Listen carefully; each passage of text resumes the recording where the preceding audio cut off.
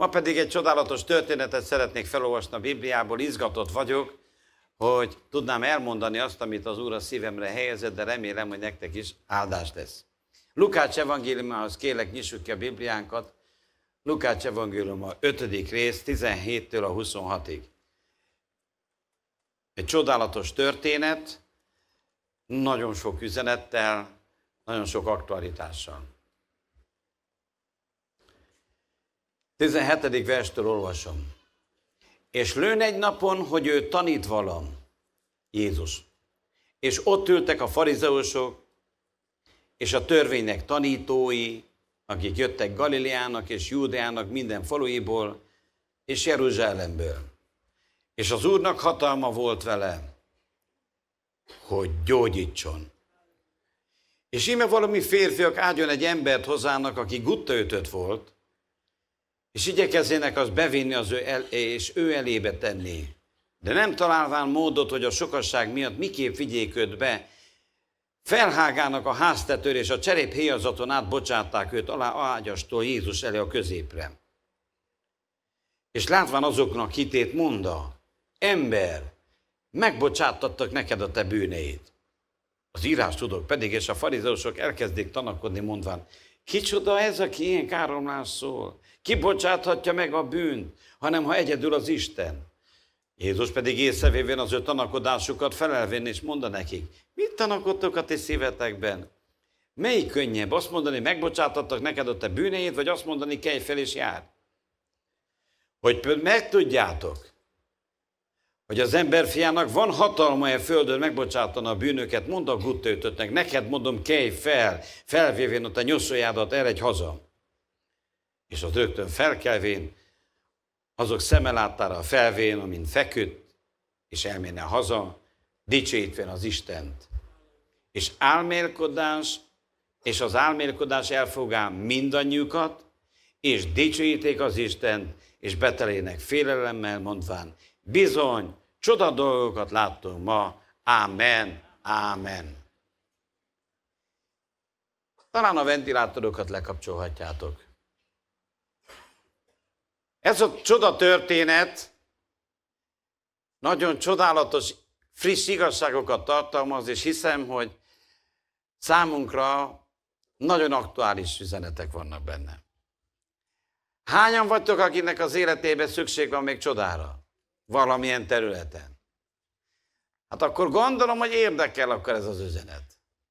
Hidd el, Jézus Krisztus tegnap, ma és örökké ugyanaz. Mondjuk közösen. Jézus Krisztus tegnap, ma és örökké ugyanaz. Nem csak a múltban tudott tenni csodákat, hanem ma is. A te családodban, az anyagi életedben, az egészségedben, a házasságodban, vagy az életednek bármilyen területére. És ez, ez a történet egy reménység története. De mint látjátok, nem olyan egyszerű, ha így menne, de nem megy így. Ahhoz, hogy az Isten el tudja végezni azt a csodát, amit igazából el akar végezni, nekünk is hozzá kell tenni valamit. Bármilyen furcsa, rád is szükség van a csodára. Rád is szükség van. Valahogy úgy szeretnénk sokszor, hát hogyha az Isten akarja, akkor tegye már meg. Itt nem akadályozzuk ebbe. De nem így működik a csoda. Isten téged is használni akar. Vagy eszközei vagyunk a csodának, vagy éppen akadályai. És érdemes megnézzük sorban ennek a történetnek a szereplőit, hamar rájövünk arra, hogy nem is olyan egyszerű. És különösen, hogy a tükörként nézzük, és felismerjük benne magunkat, akkor meg fogunk lepődni. Remélem, hogy nagyon aktuális üzenet lesz mindannyiunknak.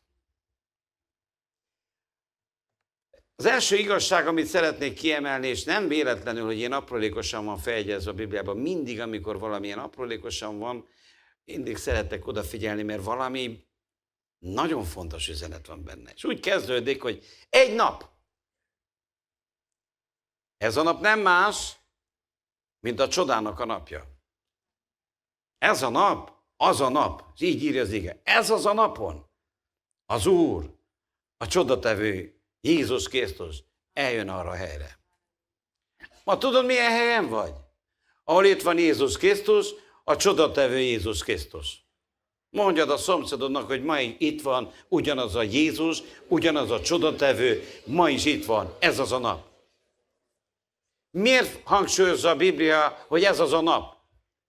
Mert higgyétek el, hogy nagyon fontos, hogy minden nap felismerjük az Istennek az akaratát. Tudod, mennyiszer megy el az ember a nagy dolgok mellett azért, mert nem ismeri fel a napnak a jelentőségét. Igazából ki szoktuk emelni. Az esküvő az egy nagy nap. Meg is határozza az ember életét. Amit akkor aznap mond, az egész életére van következménye. Nem? De nem bántad meg, amit az esküvőre mondtál. Egy életre. De lehet, hogy megdöbbentek. Minden nap ilyen jelentőségű. Amikor az Úrnak a jelenlétébe vagy, az Úr valamit tervezett. Ő nem azért jött csak, hogy megnézzen, hanem azért jött, mert be akarja tölteni a te szükségedet. Mert csodát akar tenni az életünkben. És most elégedjünk meg kevesebben, mint az Úrnak a csodatevő érintésével az életünkben. De a nagy baj, tudod, mit figyeltünk meg az én életemben legalábbis, hogy legtöbbször utólag jövünk rá, hogy ú, milyen szép napok voltak. Milyen jó volna még abból a napból egy kicsi. Talán a tanítványok, mikor a hegyen voltak, az Úr dicsőségében akkor mondták, hogy maradjunk itt, itt olyan jó nekünk.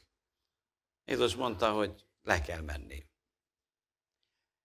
Értékeljük a napokat. Értékeld minden napot, és akkor értékeld az életedet. Soha nem tudod visszahozni. Értékelt, hogy megfoghatod a feleségednek a kezét. Ott van mellette, nyugodtan fog meg. Vigyázz, nézd meg, hogy biztos a te feleséged. Drága barátaim, úgy repülnek az évek, és egyszer csak rájössz, hogy hopp, ezt már nem tudom megismételni.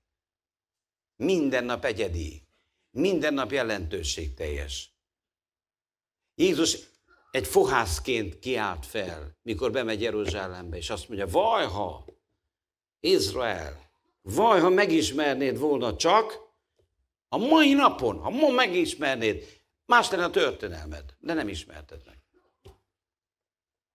Drága barátaim, minden nap az életünkben attól izgalmas és attól kincs, hogy van valami, amit Isten készített, és a ma döntése meghatározza holnapomat.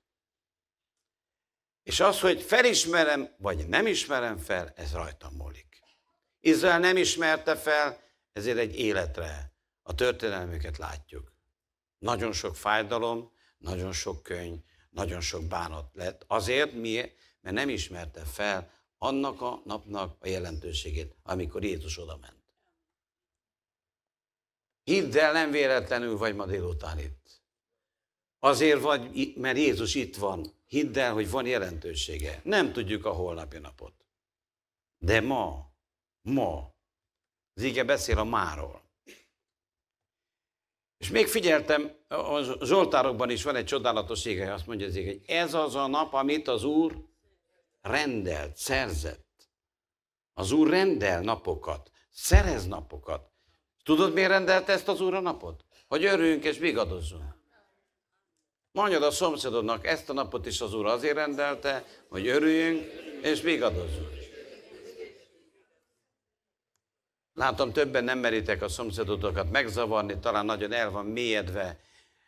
Nyugodtan megregetheted a vállát, és mondd még egyszer neki, hogy ezt az Úr azért rendelte, hogy neked, hogy örülj, és örvendezzél, és vigadozzál. És örülj annak, hogy örülhetsz.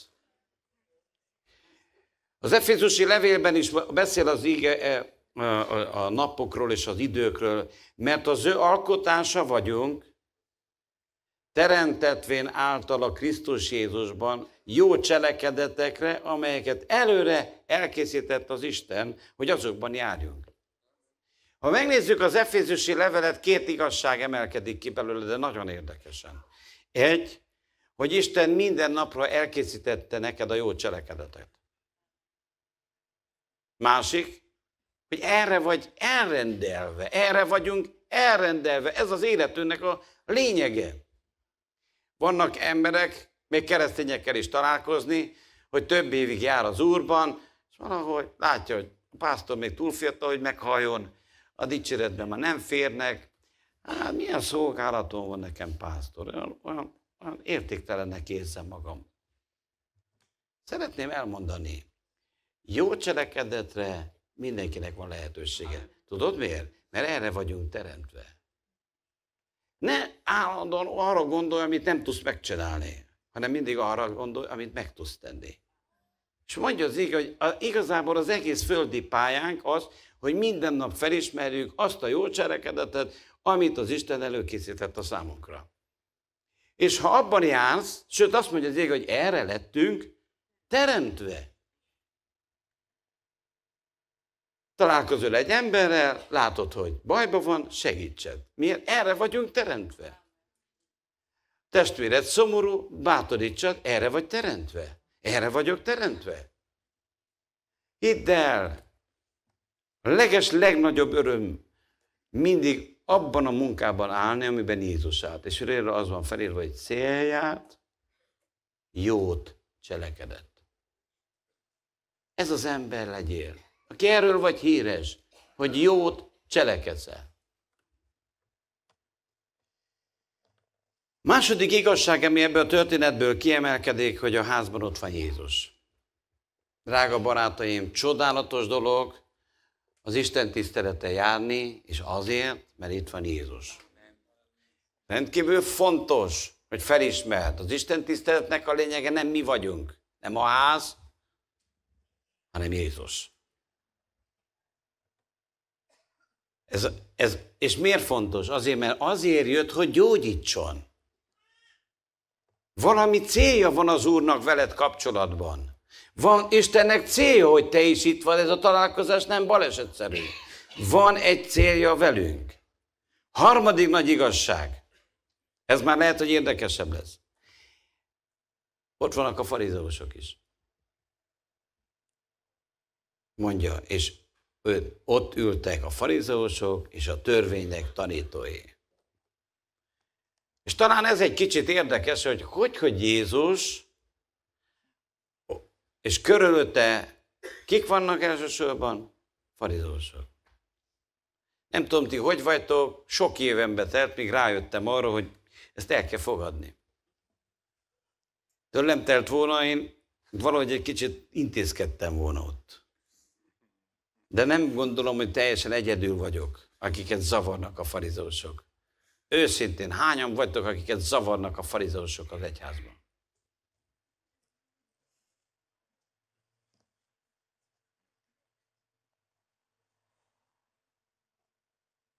És pont emiatt nem könnyű bejutni az Isten jelenlétébe. Ugyanis azt mondja, azt látjuk ennek a történetnek a fő lényege mi?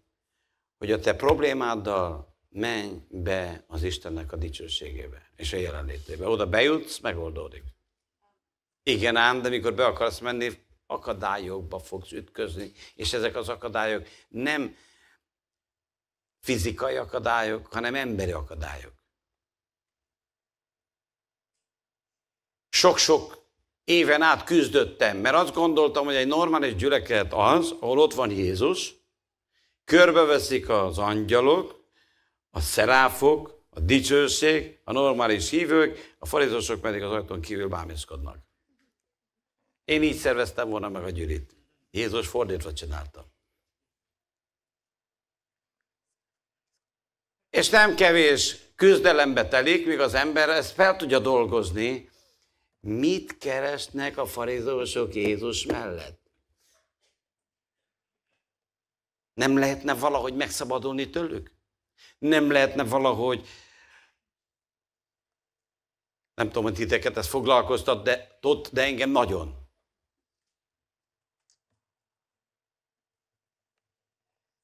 Csak amikor elkezdtem tanulmányozni, hogy kik is a farizósok, akkor ijedtem meg, és most felolvasok nektek egy igét, és akkor lehet, hogyha erre gondolsz, nem biztos, hogy olyan hamar ki akarod rakni a farizósokat. Mikor pedig látta, hogy a farizósok és a sadduceusok közül sokan mennek ő hozzá, hogy megkeresztelkedjenek, mondta nekik, mérges kígyóknak fajzatai. Ez egyszerű, ez tiszta. Kicsoda intett meg titeket, hogy az Istennek elkövetkezendő haragjától megmeneküljetek. De mi most következik, szerintem elgondolkoztató.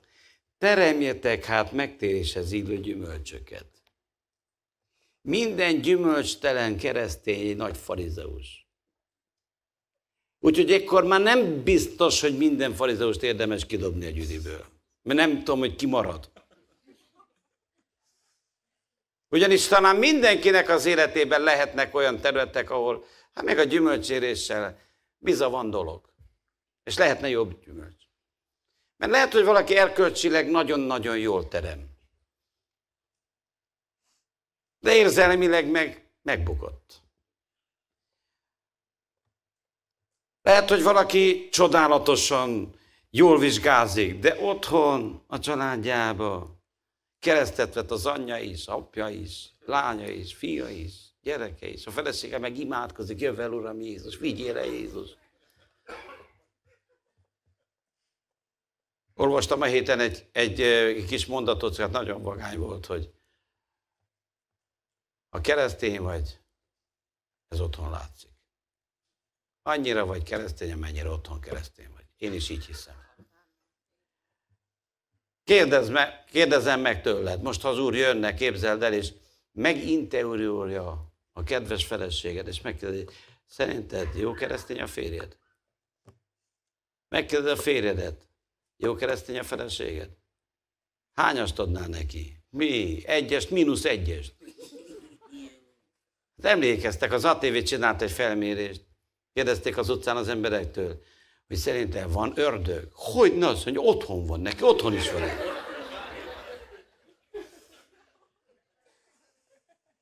Nem olyan rég láttam egy másik felmérést, hasonlóan beszéltek. Persze, az tiszta, teli van a világ ördögökkel.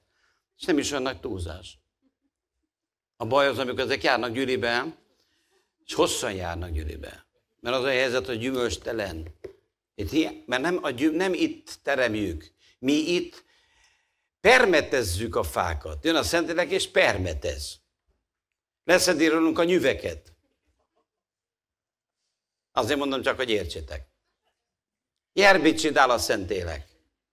Elmondja, hogy ezt is meg kell változtatni. De igazából a gyümölcsérés otthon derül ki. A szomszéd hallja sokszor, hogy mit mondasz, hogy mondod, hogy nem mondod. A gyermekeink hallják. Sőt, ha szeretnéd tudni, elmondok neked egy titkot. A gyermekszolgálati szolgálattevők pontosan tudják minden családnak a hangulatát, mert a gyermeket szépen eljátszodja. A fiúcska eljátszodja az apukat, az a, a lánygyermeke játszhatja az anyukát. Még a hangszínét is. Le vagyunk bukva, de valaki mindig lát, és ez az Úr. És azt hiszem, hogy ha tükörben nézzünk, akkor nem is sietnénk olyan nagyon, hogy kiírtsuk ezeket a mocskos kígyó farizeósokat. Mert lehet, hogy adott esetben minket is ki lehetett volna dobni onnan. Ha csak azt dobhatja a követ, aki soha nem védkezett, akkor kőnékül maradunk. Az Istennek a kegyelme, hogy még nincs végünk, testvérek. És ez a történet, tudod miről szól? A kegyelem történet a Bibliában. Meg fogjátok látni a végén. Az egyik legnagyobb kegyelem közvetítő történet a Bibliában. És könnyű valakiről mondani, te az egy nagy farizeus. Itt dobja a nagy hívőt, a szentet, de tudnád miféle ember? Munkahelyen. Nézi a nőknek a lábát. Sőt, a másik ezt nézi. Figyelj, lehet, lehet hazudozni, de ez az igazság. Hát még olyan is előfordult, hogy egy világi ember megkopog az ajtómon. Jó napot kívánok, jó napot! Én XY-nak vagyok a férje. Az én feleségem magukhoz jár a gyülekezetbe, csak jöttem mondjam meg, hogy egyáltalán nem keresztény. Otthon egy nagy tróger. Ezt a világi ember mondta. Aztán ezt erre tegyi varjágombot. Magyarázza meg, de mégis ő jó keresztény. Egy nap mindannyian megállunk az Úr szín előtt, drága testvéreim. Nem szabad magunkat félrevezessük, mert nincs értelme. A gyümölcstelen fáról ez az Úrnak a véleménye. Farizeus. Lehet, hogy ilyen gyönyörű, varrottas ruhában van, fehéring, fekete öltöny, az a fafejűbb kiadás, lehet olyan, hogy rocker kiadás, ha gyümölcstelen valaki, az farizeus. És az úr tudod, mit keresett a fügefán? Nem a, csak a gyümölcs. Őt nem érdekelt, hogy milyen szépek az ágai, milyen szépek a levelei, de micsoda gyökere van, mamma. Ő csak egy érdekelte, a gyümölcs. Gyorsan soroljuk el, hogy könnyebben menjen. Szeretet. Velem mondjátok, mert nem tudom jól, hanem hogy belebolanduljak. Szeretet, öröm, békesség, jóság, hűség, szelítség, mértékletesség. Hát hányan annyit tesznek, hogy ha nem volna tányér, megennék, ha ehető volna tányér, azt is megennék. Mondták nekem, valaki mondta, te, a hitesek ez nem isznak, de ezek úgy esznek, mintha soha nem ettek volna. Voltam egy összevetelen, a pásztor arról beszélt, hogy tanította enni minket. Olyan intézést kaptunk, hogy amíg élek nem felejtem el. Mert a, a vendéglős, egy, egy konferencián voltam, ahol csak pásztorok voltak meg minden, és a, a vendéglő főnök elment panaszkodni a, a vezető lelkésznek, hogy te, ezeket nem lehet jól tartani. Hát ezek úgy esznek, mint a hete nem ettek volna. Aztán kaptunk, ne félj. Ki és tegyél a torkodra. Megértettem, nem eszünk semmit. Ugyanis megcsinálták azt, hogy a, ugye kancsóban voltak ezek a finom e, narancsdzsúzok, meg ilyesmi, és az azért van, hogy az ember oda megy és tölt magának. Tehát ezt megoldották, egy kancsó elkaptak csinálni, de az úr rendelte. Azért van, hogy örüljünk és örvendezzünk, de kaptunk is a mértéktelen disznó természetért. Hát ez most disznó természet. Még egyszer mondjuk el, hogy valaki elfelejtette volna. Szeretet, öröm, békesség, béketőrés, szívesség, jóság, hűség, szelítség, mértékletesség. Ezt keresi az Isten. Magyarázhatunk mi akármit. Ha nem ezt teremjük, akkor farizeusok vagyunk. De egy jó hírem van. Farizeusoknak is van kegyelem. Amen. Hát ő nem zavarta ki őket. Képzeld el, úgy prédikál, Jézus, hogy szétnéz és látja. Ez is képmutató, ez is egy vipera, ez szarvas vipera, Hú, te ez, ez, cser, ez, cser, ez csörgő kígyó. Hú, ez már egész ilyen, melyik az a nagy hosszú könyv? Piton. Mindegyikből. És úgy prédikált. Mert látja a szívünket. És nem azt mondta, hogy távolad, a pokolba süllyedtek az egészen. Ő hirdette az evangélium. És tudod, miért jött oda? Hogy gyógyítson. Tudod, mi ez? Kegyelem. Ebben a történetben vannak a férfiak is, akiket a Biblia csak így nevez, hogy férfiak, akik nem is egyedül jöttek, hanem azért jöttek, hogy valakinek segítsenek. Hoztak valakit. Felismertek ezek a férfiak valamit. Hordták a, hozták a problémát Jézushoz. Talán ez a legvonzóbb példa. Bármilyen gonddal jöttél, bármilyen problémával jöttél, hozd a problémádat Jézushoz. Ezzel a célral jöttek. És ez az üzenet mindannyiunknak. Bármilyen problémád is van, hidd el, be kell juss az Úr jelenlétében. Ne elégedj meg kevesebben.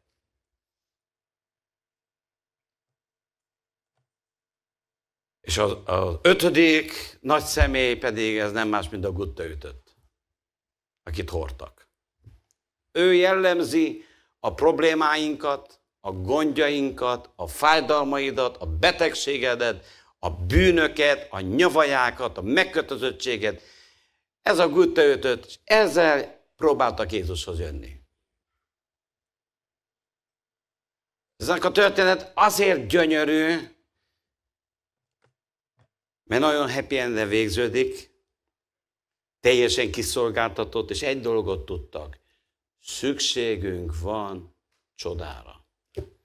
Szeretnélek meggyőzni. Szükségünk. Ha szükséged van csodára, akkor mondjad velem együtt. Szükségem van csodára. De itt van Jézus, a csodatevő. Jó helyen vagy. Dicsőség az Úrnak. Igen, ám csak be akarták vinni, és valamiért nem lehetett bejutni. Miért nem lehetett bejutni? A sok farizeus miatt? Ma szerintetek miért nincsenek annyi szokták mondani? Miért nincs annyi csoda? Azért, mert több a farizeus. Ma több, mint régebb volt. Akkor mi a teendő? És gondoljatok bele, ott van az az ember, teljesen kiszolgáltatottan, hall mindent, lát mindent, de nem tud beszélni. És ott azt tanácskoznak, hogy te eljöttünk ide, de nem lehet bemenni Jézushoz. Gondolj bele, milyen boldogság lehetett benne, hogy van remény. Nem kell meghalljak. Elvisznek most Jézushoz. Meg fog engem gyógyítani. És amikor odaérnek az ajtóba, nem lehet bejutni. Nincs hely a számodra. Akkor még semmi esélyem nincs. Helyez magad bele ennek a gutaötötnek a helyébe. Zajlik, hallja a beszélgetéseket, kérdezik, nincs itt valahol mégis egy ismerősöd, valahol egy ajtó háta kinyílik. De valahol, valahogy. Mondják, hogy nem. Semmi esély. Az élet és a halál dől el. Hogy be tudunk-e jutni az Úr jelenlétébe, vagy nem. Drága barátom, nem kell a te nyavajáiddal, gondjaiddal, problémáiddal összeroskadjál. Jézus Krisztus itt van, a csodatevő. Meg tud téged szabadítani százszázalékosan. Nincs olyan kötelék, amiről ne tudna ő téged megszabadítani. De ezek a férfiak azért voltak nagyon fantasztikusak, mert nem, le, nem úgy döntöttek, hogy te, mi el akartunk jönni. Az Isten látja a lelkünket. Próbálkoztunk. Tehát ha nem lehet, hát nem lehet. Ami nem megy, ne erőltessük, azt mondta Mász bácsi is. Menjünk vissza. Nem ezek az emberek voltak. Mondjad velem együtt, hogy nem vagyok a meghátrálás embere. Ha be akarsz jutni az Úr jelenlétébe, mindig fogsz találni ellentétet. Mindig fogsz tenni akadályt. Soha nem megy ez olyan könnyen, hogy jöjj, Szent Szellem, érints meg, mert csodára van szükségem. Egyből találkozol olyan erősségekkel. Minél nagyobb a szükség, az ördög annál nagyobb meg, meg akar akadályozni. És igazából az eredmény akkor fog eldőlni, és attól dől el, hogy kitartok-e, áttöröm az akadályt, megkeresem a megoldást, vagy hát ennyi volt. Én próbálkoztam, de hát emberek vagyunk, igyekezünk, de ez nem elég ember. Nem csak igyekezni kell, győzni kell. Be kell juss az Istennek a jelenlétébe. Minden áron. Miért? Élet vagy halál. Ez a különbség. Elég nagy. Ha bejutunk az Istennek a jelenlétében, bármilyen problémával küzdesz, meg fogod tapasztalni Istennek a csodáját. Hidd el, az Úr keze nem rövidült meg. Ne, ne törődj bele, ne fogad el, ne menj olyan kompromisszumba. Hát én akartam, ember, imádkoztam már háromszor is. Bármilyen nagy az akadály, le lehet győzni. Gyere, nézzük meg. És ez a történet azért fantasztikus, mert a megoldásról is beszél nekünk. Ez a leges, legfontosabb része ennek az üzenetnek. Hogyan tudod legyőzni az akadályt? És az egyik legnagyobb akadály, amikor embereket látsz, akik egyet beszélnek, mondják vizet prédikálnak, és bort isznak. Nem keresztény az életük. Hát ha az ilyen, hát akkor. De döntést kell hozzá, drága barátom, hogy ezzel foglalkozol, vagy a csodára van szükséged, vagy bejutsz az Úr jelenlétében. Ez a kettő együtt nem megy. Jézus bent van, és nagyon jól tudta, hogy próbálnak bejönni hozzá. Nem mondta, hogy most megszakítjuk az Isten tiszteletet, kedves testvéreim. Kint van egy bajba jutott ember. Kedves farizeusok és írástudók, viperáknak fajzatai, fáradjanak ki, csináljatok helyet, mert van egy bajba jutott ember. Nem. Elvárja tőled is, elvárja tőlem is, hogy meg részt vágjál, és bejuss az Isten jelenlétébe. Ha jobban akarod a csodát, mint az akadályt.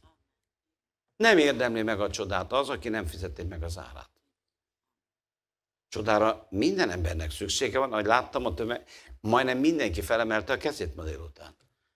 A nagy kérdés az, hogy van-e, aki megfizesse az árát, és készek vagyunk-e megfizetni az árát. Az első dolog, amit látunk ezeknél a fiatal embereknél, hogy azt mondja az igen, nem? Hogy felhágtak, felmásztak a háztetőre. Én azt figyeltem meg, hogy amikor az ember akadályokba ütközik, szinte leragad, mint a régi, nem tudom, emlékeztek a C, régi lemezjátszokra, amik ilyen nagy e, műanyag lemezen volt, a, és előfordult, nekünk nem volt, de a szomszédunknak volt, és hallottam, hogy volt, hogy elrom, valami történt a lemezzel, és akkor mindig ugyanazt játszotta. Dum, dum, dum, dum, már non-stop. És sok kereszténynél azt látom, hogy mikor közeledik az Úrhoz, be, csodára van szüksége, ugyanakkor a lemez játszója elromlik, beakadt. Beakadt a farizeus, hogy az a diló farizeus, az a kígyó, miatta nem tudok bejutni. És miatta nem tudok bejutni. És miatta nem tudok bejutni. De ma mondok neketek egy dolgot. Ha farizeusokkal foglalkoztak volna ezek az emberek, ez az ember meghalt volna. Amíg a farizeusokkal foglalkozol, addig a csoda távol van tőled. Nem a te dolgod a farizeusokkal foglalkozni. Hát ha Jézus megengedte, bízod rá. De mit keresnek ott közel? Hát ott van, ott közel ülnek, hogy jobb legyen ember. Elő. Az első sorokban. Hány, hány levelet kapok? Az első sorokban, akik ott ülnek. De képzeld el, hogy a mennybe is elő fognak ülni, akkor mit fogsz csinálni? Ne foglalkozz a farizósokkal, hanem emelkedj felül. Felül kell emelkedni. Nem lehet felmászni is, és közben lesed, hogy a farizósok ott ülnek, vagy nem ülnek ott. Fel kell emelkedni. Dönteni kell. Felemelkedek, lesz csoda. Nem emelkedek fel, lesz névsorom. Filozófus, meg pszichológus. Ez a farizós ilyen, ez olyan, és lehet, hogy mind igaz. Ezek tényleg farizeusok voltak, nem, nem csak tették magukat. Csak nem segít semmit rajtad ha beállítod a farizeusok névsorát, akár a gyülekezetben, akár a te gyülekezetedben, vagy és most vannak olyanok, akik otthon vagytok, nézitek a fodit, és azt gondolod, hogy ez a megoldásod. Ahelyett, hogy félretegyél mindent, mász fel az Úr dicsőségére, és menj be az Úr jelenlétébe. Nincs olyan internet összejövetel, nincsen olyan CD lejátszó, nincsen olyan semmi, semmi a nem pótolja az Úrnak a jelenlétét akkor megérint a mindenható Isten. Úgy leszedi rólad a betegséget, hogy még a nyomás sincsen. Te szomorú vagy. Hát megérint az Isten, meg úgy elolvad róla, mint, mint a hóember tavasszal. Hogy te, hát mi is mondtam én a busz? Jaj, tényleg jött a nyuszi, murkot elvitte. Hát már nincs is miért bussoljak. Mikor az Úr jelenlétébe jössz, és elkezdi nyakon önteni, a, a, önti, önti, csak önti rád a vigasztalást. De nem csak a vigasztalást, hanem azt, amire szükséged van. Mindent képes megoldani, amire szükséged van. Ha gyógyulás, ha bent bűnbocsánat, ha, kegy, ha egy szabadulás, ha vigasztalás, bármi gondod van. Nem tudjuk mi egymásnak megoldani. Van egy csodálatos hasonló történet a Zákeussal, emlékeztek? Olyan magas volt, mint én. Ha nem láttátok Zákos, csak nézzetek rám. Hasonlított hozzám. Azt mondja a Biblia, hogy ő is akarta Jézust látni, de a sokasság miatt nem láthatta. Csak őt se úgy faragták, hogy hát én akartam nézni Jézus, de hát ha nem lehet, akkor nem lehet. Nem mit csinált? Előre futott. Mindig előre fuss. Ha már futsz, akkor előre fussál. Soha ne hátra. Felmászott egy eperfára, fügefára, és várta, legalább lássa Jézust. És csak látni akarta. És üdvösséget kapott. A legcsodálatos napja volt, mert Jézus bement hozzá, nála vacsorált, sőt, nála maradt. És csak mi volt az egésznek a titka? Az, hogy Zákeós kész volt megfizetni az árát. Előre ment, felemelkedett, szépen lenézte az összes farizeust, akik ott körülte, döngték Jézus körül a helyet. Aha, de jön Jézus. Érdemes Jézust keresni. Érdemes legyőzni az akadályokat. Ne akadj fel se ezen, se azon. Ha az Úr úgy döntött, hogy még a farizósoknak meghagyja a helyet, ott hagyja, akkor hagyjad ott. Ha Jézus nem zavarta el, akkor te miért akarod zét zavarni? Mert arra gondoltál te, hogy egyszer téged is ki lehetett volna zavarni? Lehet, hogyha mindenkit kizavart volna az úr, aki farizeus, akkor ma ez a gyülekezet tiszta üres volna. Csak aki prédikáljon, csak aki hallgassa nem volna. Nem épp olyan igazunk van, amikor így beszélünk, ó, de sokan, képmutatok. Persze, igaz. Csak amikor mást ítélünk, akkor jön az angyal, szépen egyszer csak mutat neked egy lapot. Lesz a mennybe is egy hasonló kijelző, csak lehet egy kicsit nagyobb bacska lesz. Fogja látni az egész világ. Mutatják első nap. Itt énekeltél, szakadt le az ég, úgy kiabáltál. Még be se fejezted jól az összevetet, elfutottál hamar a, a milyen volt az a, az a volt, vagy mi volt itt? Volt, nem volt. Vibe, vibe volt, vibe volt. És a wine jól megittad a wine-ot, vibe-on a wine úgy jöttél haza, mint egy albán szamár, tévedésből a Tudorba akartam menni, az, az Uniriba kötötték ki. Az is taxisofőr, ha ne is jött volna, most is keresnéd, hogy hol laksz. És akkor utána, ó, á, mennyi képmutató farizeus van a gyülekezetben. És az Isten nem vágott beléd a villámmal. Tudod miért? Mert irgalmas volt. Nem kell, nekünk nem az a dolgunk. Neked azonosítni kell a szükségedet, tudod, hogy milyen problémád van, neked az a dolgom, hogy én bejussak az Isten jelenlétébe. És nem nézhetsz azokkal, nem foglalkozhatsz a farizósokkal.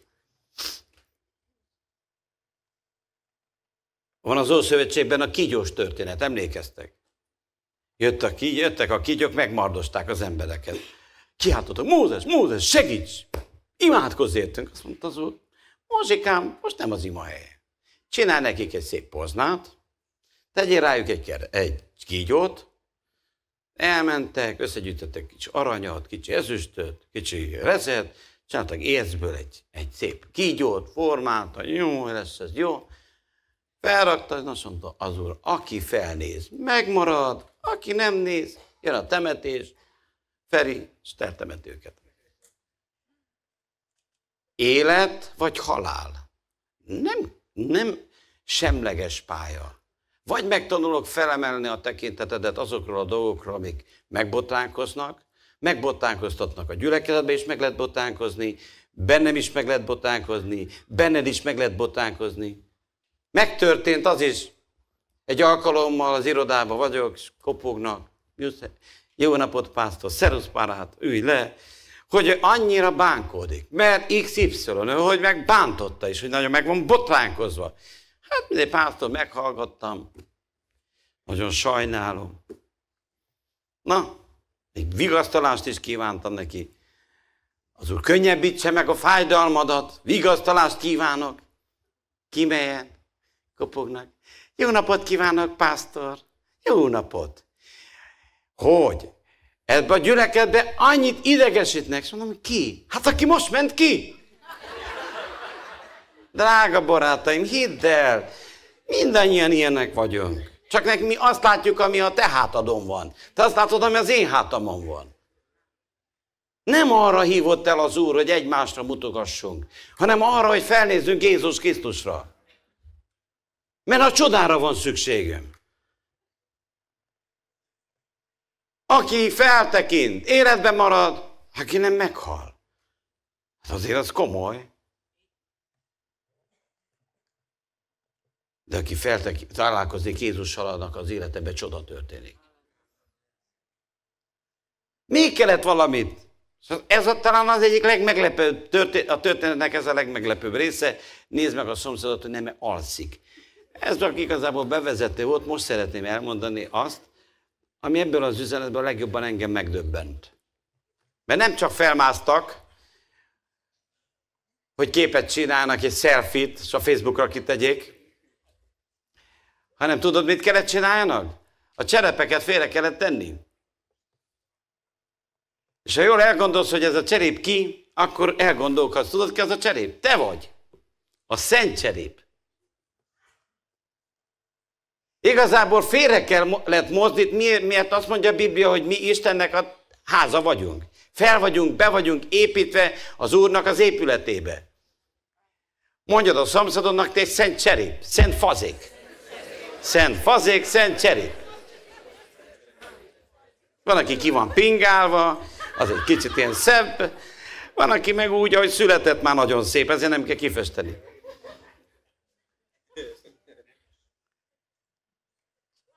Igen ám, de döntést kellett hozni. Amíg nem, mozd, nem mozdítják el a cserepet, addig nem tud bejutni a, a beteg. Kiderül, hogy nem a farizeusokat kell elmozdítani Jézus jelenlétébe, hanem a szent cserepeknek kell helyet csinálni, hogy bejussunk Jézus jelenlétébe. A szent cserepekkel kell foglalkozni, magunkkal kell foglalkozni, Egymá- nem másba kell keresni. Lehet, hogy ott van bent a cserépbe valamit el kell mozdítani. Tudod, hogy ahhoz, hogy mi ma itt üljünk, ahhoz, hogy ma mi itt legyünk, a legszentebb személy, Jézus Krisztus, onnan a mennyből elhagyta a dicsőséget. Eljött ide, hogy megmentse minket. Nem a házfedeli cserepet hagyta ott, hanem a mennyet. Ha ő nem jött volna el, mi ma nem lennénk itt. Megkérdezhetem, hogy kész vagy elmozdulni? Van hely melletted? Kész vagy hátrébb húzódni, hogy tudjon valaki bejutni az Úr jelenlétébe? Ez egy áldozat. Sokszor pontosan Isten az elvárása tőlünk van. Nem a farizeusokkal akar, kell foglalkoznunk nekünk. Magunkkal kell foglalkozni. A szent cserepekkel. A szent fazakakkal. Vagy úgy oda vagy szegezze, mint a, az ácsok, amikor felszegzik a cserepeket, hogy nehogy a vihar levigye. Ez az én helyem. 25 éve megtértem Jézus Krisztushoz, akkor is itt ültem, már kikoptattam három széket, kettő, kettő törött, öt túlélte, én itt ülök, nem hagyom. Olyan jó lenne, ha befogadó lenne ez a gyülekezet. Félre kell tenni azokat a megcsontosodott álláspontokat. Van olyan, tudjátok, hogy oda szegzik a cserepet. Úgyhogy én helyem. Mi lenne, hogyha Jézus volna hely annak, aki be akar jutni az Úr jelenlétébe? Mi lenne, ha a guttöltötteknek adnánk a helyet? El kell dönteni, kész vagy félreállni? Kész volt hátrébb lépni egy picikét? Hadd férjen be más. Vagy be vagy betonozva, mint a kupás cserép? Nehogy a verebek bebújjanak. Dönteni kell. Engedjük, hogy megbontson az Úr? A, be, a betokosodott véleményünkkel, ezek a legnagyobb akadályai a, a, a csodának. Előre tudod, mi tőlünk, itt voltunk elejétől fogva, az atya, a fiú, meg mi. Nem így van, testvérek. Csak egy hiányzik a csoda. A csodát akarsz, készítsd a helyet. Legyen hely. Tudod kinek? A gutaütötteknek. Ha bejön egy gutaütött, nézd ide, hogy néz ki. Láttad azt a tiszta tetovát. És még van fülbevalója is. Van az órán is perec. És ha látnád a bokáját is. Én nem, már csak a járását kell nézni.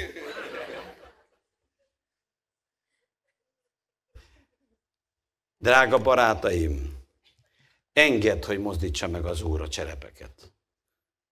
A cserepeket kellett megbozdítani, nem a farizósokat, képzeld el. Az Isten velünk akar foglalkozni. Könnyebb megmozdítani a, fari, a cserepeket, mert mi az övéi vagyunk. És ott a helyünk, ahol állít. De milyen jó, hogy foglalkozik velünk. De ez az üzenet arról is szól, hogy lehet, hogy az életünkben van egy olyan cserép, az óembert is jellemzi a cserép. Az óemberi természetet, mert az, ez, az, ez az akadá, ez a, a kincsünk cserépedényben van. Az ó, az ó természet nagyon tudja gátolni a csodákat, mikor egy keresztény testi. És amíg az nincs elmozdítva, addig nincs csoda. Az Úrat nem tudja becsapni. Ő akar velünk találkozni. Ő akar, hogy csodák legyenek az életünkben. De a testi dolgoknak félre kell szorulni. Félre kell menni. A zsidókhoz itt levélben azt mondja az igen, mi is, akiknek a bizonságoknak így nagy fellege vesz körül. Félretenni minden akadályt, minden akadályt, és megkörnyékező bűnt, hogy kitartással tudjuk megfotni az előttünk levő küzdötért. Kinek kell félretenni az akadályt? Nekem. Ha tudod, hogy az életedben akadály van, ha tudod, hogy nagy szükséged van csodára, engedd, hogy a Szentlélek elmozdítsa. Ne ragaszkodj a cserepekhez. Ragaszkodj a csodához. El kell dönteni, mi a fontosabb, az Istennek az érintése, a csoda vagy a cserép. A csoda vagy a cserép.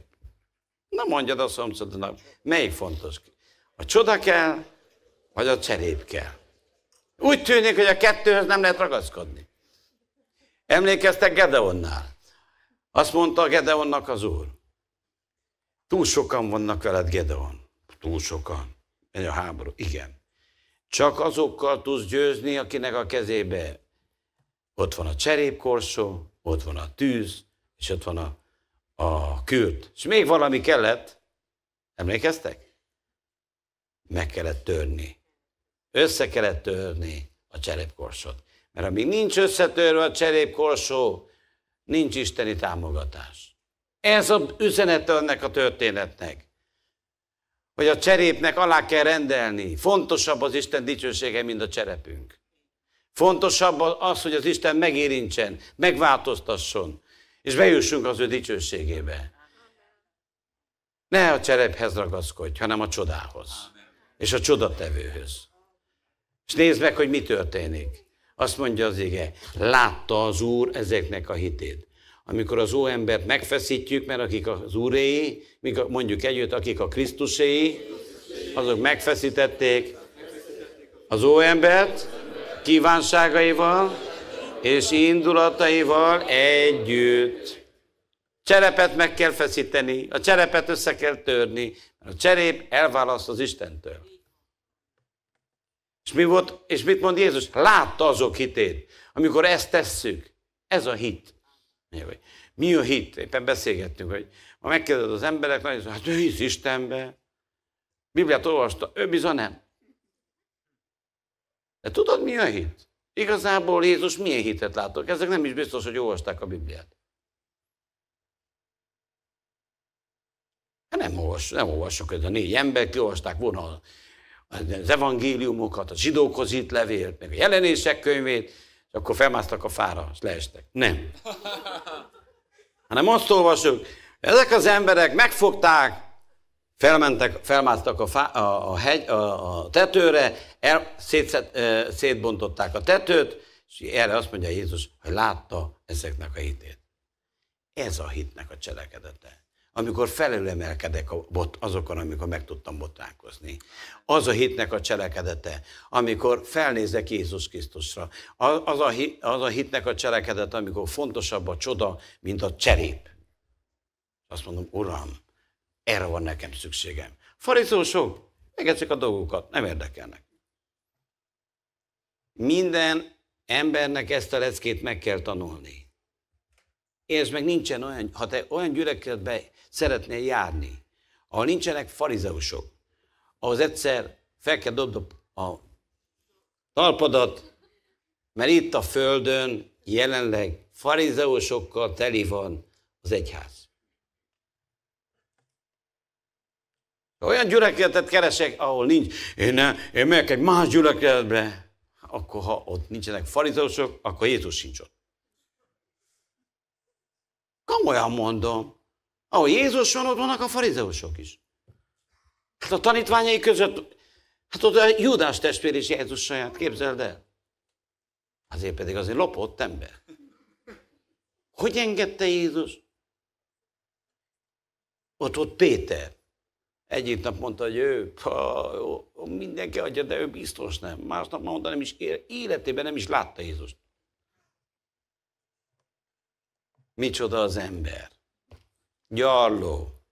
De mielőtt megkövezzük ezt az egész társaságot, jobb a tükörben nézzünk, és akkor azt mondjuk, hogy légy irgalmas nekem, bűnösnek, Uram.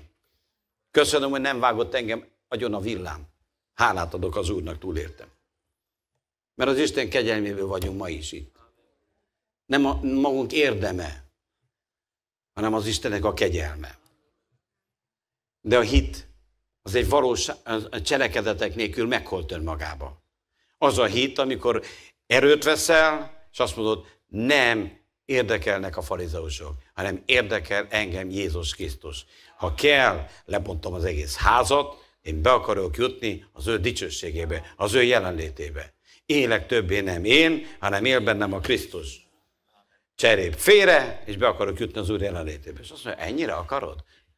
Zákeus, képzeld el.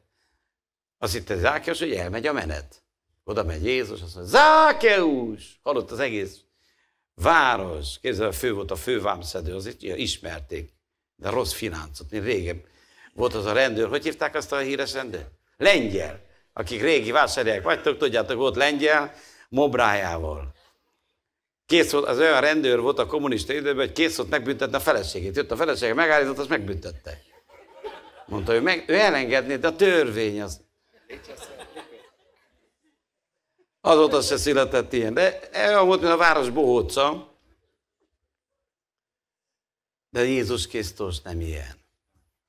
Ő kegy, telve van kegyelemmel és igazsággal. Dicsőség az Úrnak. De cselekedetek nélkül a hit meghalt önmagába. Akkor a hitet, amikor arra fel tudsz mászni a felüzősök fölé. Nem van nagy, nagy dolog, két-három métert kell messz, és akkor már nem látod őket. Ne feküdj le a farizeusok láttán, hát én meg, pásztor, én meg vagyok botránkozva. Hát én nem ilyen gyülekezetre számítottam. Lelkem én se. De ez van, ezt kell szeressük. Milyen jó, hogy van. Amen. Tudjátok, miért jó? Mely ide jár Jézus? Amen. Most is itt van. És ma is csodákat tesz. És ma is meggyógyít. Ma is megbocsátja a bűnöket. Ma is meggyógyítja a betegeket. Leveszi a terheket, érzed? Oh, dicsőség az Úrnak. Érdemes oda járni, ahol jár Jézus. Hát Jézus helyébe? Hát kifutottunk volna a házból. Ennyi farizeussal, vigyél el engem, atyám, innen. Nem menekült el. Tudod miért? Mert nem azért jött, hogy meg elítélje az embert, hanem az, hogy kegyelmet adjon. Amen. Képzeld el, mit mond az, az, ennek az embernek. Ember, megbocsátattak neked a te bűnét. Most ha eddig nem voltál ébren, most szeretnék mondani valamit. Attól függően, hogy hogy viselkedünk mi, az embereknek megbocsátja az Isten bűnét, vagy bűnösök maradnak. Ez a négy srác azt mondta volna, ember, hát ennyi fafejű farizeussal mit fárasztom magam, menjünk haza. Jézus nem jött volna ki. Hát, meg, hát, meg, nem fussatok azonnal. Hát meggyógyítom, hol van az az ember? Tőled is függ, és tőlem is függ, hogy mennyire akciózik a Szentélek. Szüks, keres az Úr olyanokat, akiknek fontosabb a csoda, mint a farizeusok. Fontosabb az Úr jelenléte. És, és, és felismerték. Gondolj bele, nem csak, hogy megbocsátja, nem csak, hogy meggyógyítsa, megbocsátotta a bűnét. Emberek várják, hogy vigyük be az ő jelenlétébe. Ez a dolgunk. Ez az én helyem. Szeretnék valamit ünnepélyesen hivatalosá tenni. És remélem az ültetők nem sértődnek meg. Itt egy személynek van foglalt helye. És azt úgy hívják, hogy názereti Jézus Krisztus. Amen. Mi oda tesszük a székünket, ahova kell. Nem számít. Tegyük, mert a többi csak cserél. Ő foglalja el a főhelyet. A többi nem számít. De ha mi bevisszük az embereket, megbocsátja az Úr a bűneit. És fordulat van a történelemben, a történetben. Farizeusok is megszólalnak. Azt mondják, hogy kicsoda ez a Jézus. Tudod, hogy amikor látja, látják rajtad, hogy az Isten megbocsátotta a bűneidet, akkor felteszik, hogy ki az az Isten. Engem érdekel ez. Ki, ki téged így meg tudott változtatni, az engem is érdekel. Még nem volt meggyógyulva a beteg, csak azt mondta Jézus, hogy megbocsátottak a te bűnét. Hidd el, a legnagyobb bizonság az, amikor rajtad látszik, hogy Jézus megbocsátotta a bűnédet. Mikor látszik, hogy Jézus vére megmosod. Ki, mi történt veled? Igen, az Úr ma is megbocsátja a bűnöket. Legnagyobb csoda, hogy megbocsátja a bűnöket. A leges legnagyobb csoda, hogy ma is az Úr bűnöket bocsát meg. És ezt várják az emberek. A farizósokra nagyon nagy hatást tett. Wow, kicsoda ez? Nem ismerték őt. És akkor Jézus megszólal. Emberek, az ember fiának van hatalma. Ma is formában van. Bűnöket megbocsájtani, betegségeket meggyógyítani. Bűnöket megbocsájtani, betegséget meggyógyítani. Dicsőség az Úrnak. Ma is van hatalma.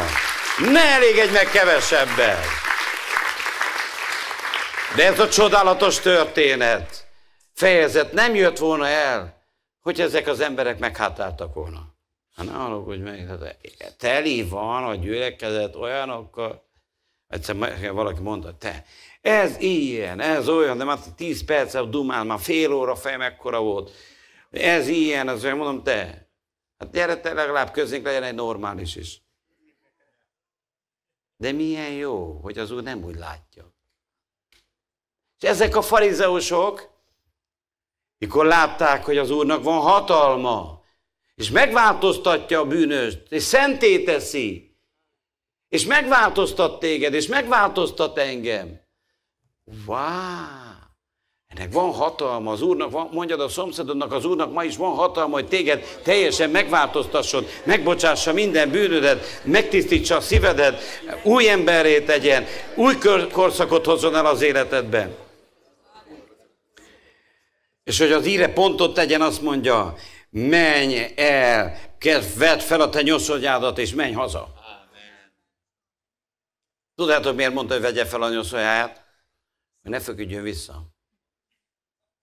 Ha az Úr megmocsott, meggyógyított téged, ha az Úr megmosott a bűnből, soha ne feküdj vissza.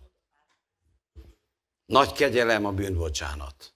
Nagy kegyelem, hogy az Úr nekünk nevünket felírt az életkönyvébe. Vedd fel a nyoszójádat, és úgy vigyed.